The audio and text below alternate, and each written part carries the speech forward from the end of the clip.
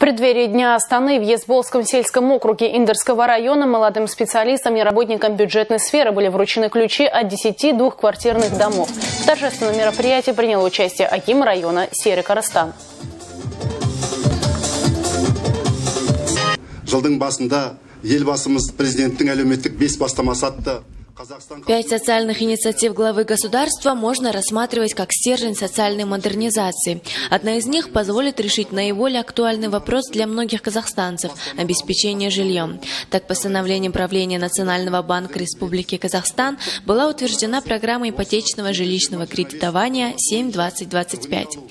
Аким области Нурлан Угаев, когда приезжал в наш район, дал нам поручение. В настоящее время одной из главных проблем является обеспечение жильем в сельской местности и он постепенно решается.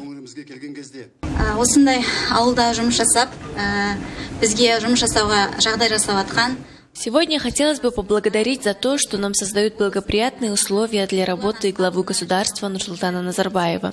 Мы очень рады, что сейчас решается вопрос с обеспечением жильем.